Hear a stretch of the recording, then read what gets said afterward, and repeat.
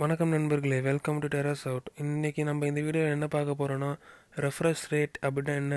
அப்புறம் frames per செகண்ட்னா என்ன அப்படின்ட்டு நம்ம பார்க்க போகிறோம் வாங்க வீடியோக்குள்ளே போகலாம் இப்போது refresh rate frames per second அப்படின்ட்டு என்னென்ட்டு தெரிஞ்சுக்கிறதுக்கு முன்னாடி இப்போது வந்து பிக்சர் அதாவது கம்ப்யூட்டராக இருந்தாலும் சரி நீங்கள் டிவியாக இருந்தாலும் சரி ஒரு பிக்சர் பார்ப்பீங்க கண்டிப்பாக அது வந்து எப்படி வருது? அது எதனால் அந்த பிக்சர் வருது? பிக்சர்னால் அது ஒரு வீடியோவாக ப்ளே ஆகுதா? அதுதான் இல்லை. அது வந்து ஒரு வீடியோட்டு நம்மலாம் சொல்கிறோம் ஆனால் அது வீடியோ கிடையாது.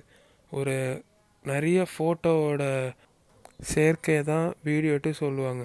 இப்போ நம்ம பார்ப்போம் ரெஃப்ரெஷ் ரேட்னா என்னன்ட்டு. ரெஃப்ரெஷ் ரேட்னா என்னென்னா ஒரு செகண்டை ஹேர்ட்ஸால் மெஷர் பண்ணுறது அதாவது நம்மளோட ஸ்க்ரீனை நம்ம ஸ்க்ரீன் அப்டேட் ஆகிட்டே இருக்கும். ஒரு ஒரு செகண்டுக்கும் அந்த செகண்டை வந்து ஹேர்ட்ஸால் மெஷர் பண்ணுவாங்க. ஒரு ஒரு செகண்டுக்கும் அந்த ஸ்க்ரீன் அப்டேட் ஆகிட்டே இருக்கும். ஒரு ஒரு இன்ஃபர்மேஷன் புது புது இன்ஃபர்மேஷனால் இதை தான் ரிஃப்ரெஷ் ரேட்டு சொல்கிறாங்க இப்போ வந்து எஃபிஎஸ்னால் ஃப்ரேம்ஸ் பர் செகண்ட் ஃப்ரேம்ஸ்னால் என்னென்னா ஃபோட்டோ சொன்னேன் ஃபோட்டோ தான் ஃப்ரேம்ஸ் சொல்லுவாங்க. அந்த காலத்தில் ஒரு ரீல்மே இருக்கும். அதுதான் நம்ம ஃப்ரேம்ஸ் பர் செகண்டுட்டு வரும். அதில் தான் அந்த எத்தனை ஃப்ரேம் அப்படின்ட்டு கேட்பாங்க பழைய காலத்தில்.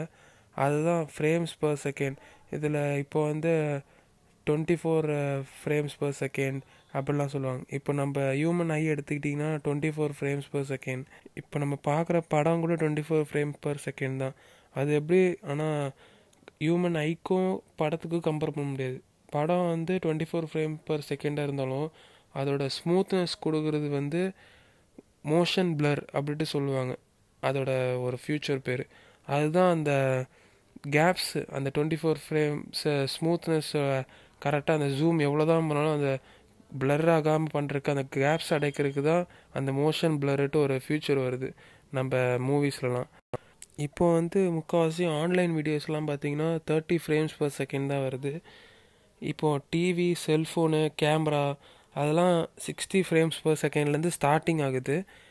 நம்ம கா காஸ்ட்டை பொறுத்து நம்ம எவ்வளோ ரூபாய்க்கு வாங்குகிறோம் அதை பொறுத்து அதை ஃப்ரேம்ஸ் பர் செகண்ட் இன்க்ரீஸ் ஆக விற்கிறாங்க அதுக்கப்புறம் இப்போ ரிஃப்ரெஷ் ரேட்டுக்கு வருவோம். இப்போ வந்து பழைய காலத்தில் கம்ப்யூட்டர்லாம் பார்த்தீங்கன்னா கம்ப்யூட்டர் ஸ்க்ரீன் விட்டு விட்டு எரியும். அது எதுக்குன்னா அப்போ வந்து ரிஃப்ரெஷ் ரேட் வந்து அதிகமாக இருக்குதுன்னு அர்த்தம். பழைய காலத்தில் கம்ப்யூட்டர் வந்து ரொம்ப கொஞ்சம் சிக்ஸ்டி ரிஃப்ரெஷ் ரேட்டே அதிகமாக இருக்கும். அதனால் அந்த கம்ப்யூட்டர் வந்து ஸ்க்ரீன் வந்து விட்டு விட்டு இருக்கும். விட்டு விட்டு எரியும். அது நீங்கள் பழைய காலத்தில் கம்ப்யூட்டர் பார்த்துருந்தீங்கன்னா தெரியும். விட்டு விட்டு டக் டக்குன்னு சில வாட்டி கம்ப்யூட்டர் ஸ்டக் ஆகிற மாதிரிலாம் வரும். எதுக்குன்னா இது வந்து ரிஃப்ரெஷ் ரேட்டு எம்ப அதிகமாக இருக்கிறதுனால. இப்போது கேமர்ஸ் எடுத்துக்கிட்டிங்கன்னா அவங்க வந்து ஹை கிராஃபிக்ஸ் கார்டு யூஸ் பண்ணுவாங்க. அப்போது வந்து ஹை ரெஃப்ரெஷ் ரேட் தேவைப்படும். One twenty hertz refresh rate அதெல்லாம் தேவைப்படும்.